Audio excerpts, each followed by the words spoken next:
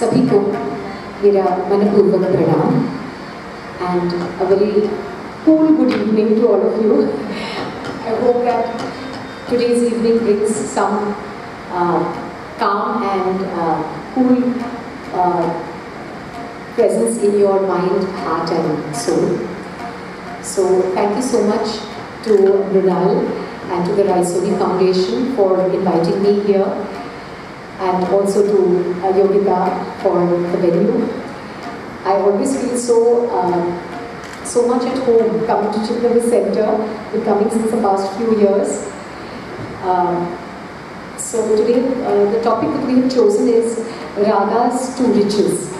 So you might be wondering that how will you become rich by listening to ragas or rags? So it is the mental richness जो मानसिक धन हम कहते हैं when you feel happy I think that's when you're really rich. So uh, it's written in the Samved that music is the way to the soul, Swar se Ishwar. So uh, just to give you a short introduction before I begin, that a rag is uh, the ABCD of our Indian music. You know, like you have when you have children learning any language, they start off with the ABCD, then they form words, and then sentences, and then essays. So similarly, this is through a rag, it's a sort of a, doorway through which once you enter, then you can have all different branches of music, be it uh, a khayal or a bhajan or a, a ghazal or a thumri or a film song and so on and so forth.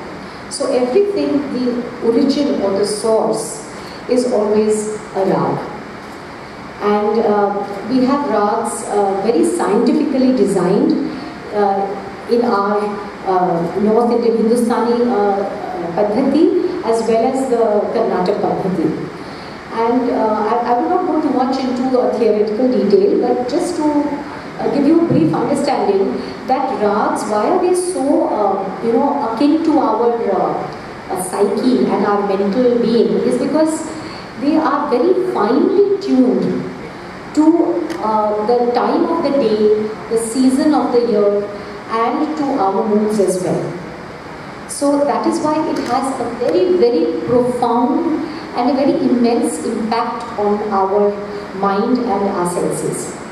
Because हर हर एक राग जो है वो प्रहर के अनुसार, यानी कि एक दिन में 24 घंटे होते हैं राइट तो वो 24 घंटों को आठ प्रहर में विभाजित किया जाता है। और हर एक प्रहर के लिए कुछ राग चुने गए हैं। तो उस रागों को सुनने से और बजाने से आपके मानसिक मतलब उस उस पर बहुत प्रभाव पड़ता है। और उससे आपको बहुत शांति मिलती है सुख मिलता है और अच्छा लगता है। This is been proven and it has been experimented upon also so that is for ragas so to not giving you too much of will present the first rag for today's evening, Rag Des. Uh, this is a, a rag, इसका नाम ही ऐसा है देश इसमें काफ़ी सारे आपको patriotic गाने भी मिलेंगे, जैसे कि वंदे मातरम भी है, वो राग देश पे ही आधारित है। So I will be taking certain ragas और उसमें से जो लाइट कॉम्पोजिशंस हैं, इसमें से जो निकल कर आते हैं विच ओरिजिनेट फ्रॉम राग्स ऐसे मैं आज लेने वाली हूँ। कुछ दादरा है, कुछ ठुमरी है, कुछ गज़ल है, कुछ फ़िल्म के गाने भी हैं। तो हर एक का जो स्रोत है So uh, I'm beginning with uh, the rag. This is normally sung in late evenings.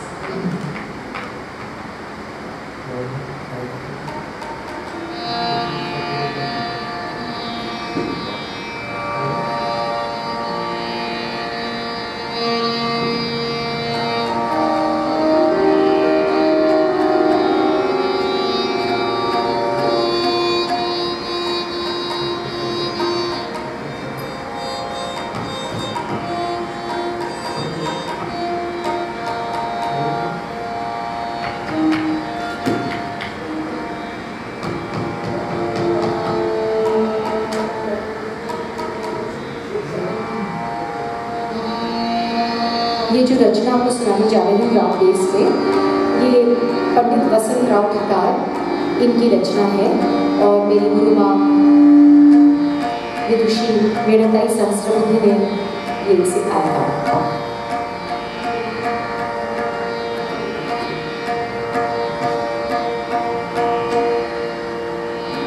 Yeah.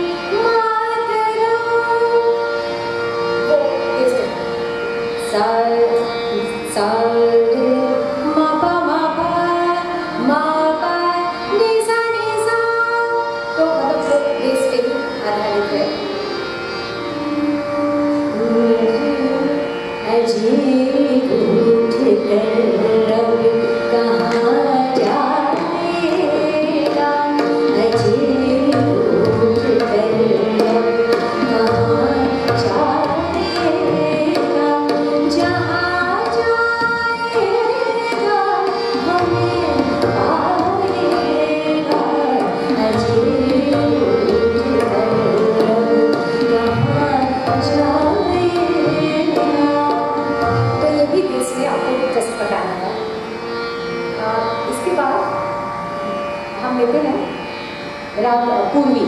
ये इस समय का ही इससे थोड़ा पहले, यानी कि छः बजे, साढ़े छः बजे के दौरान, पूर्वी इट इट इज़ कॉल्ड संधि प्रकाश राग क्योंकि just beginning end of sunrise and end beginning of sunset जब ट्वाइलाइट जैसा माहौल होता है तो ये राग गाया जाता है। इसमें एक छोटी सी बंदिश आपको जस्ट सुनाती हूँ और फिर हम आगे थोड़े कुछ फ़िल्म के गाने लेंगे इस पर तो ये ऐसे जाता है। It is completely different from raga base. You will notice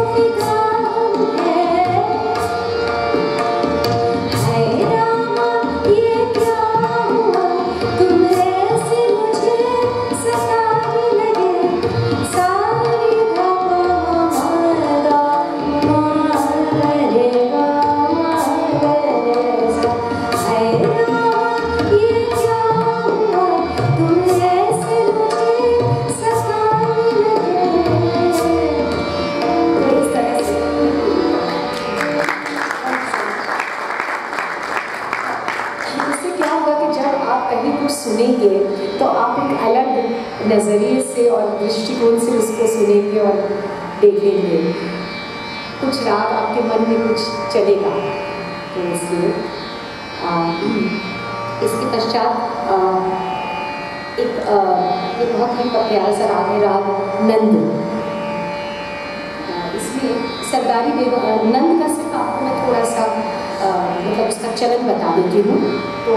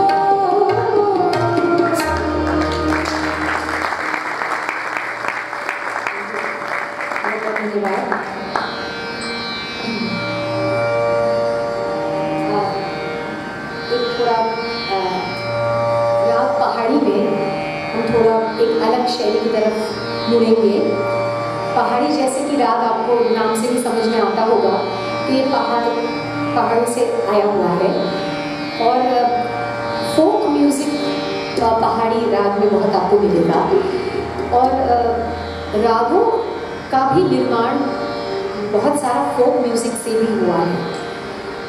Folk music is always the first the original and fundamental music which has come from right from the ground from the villages from the folk lore वहाँ से एक धुन से किसी को कुछ एक स्वरों का समूह जब मिलता है तो उसमें से एक राग बन जाता है।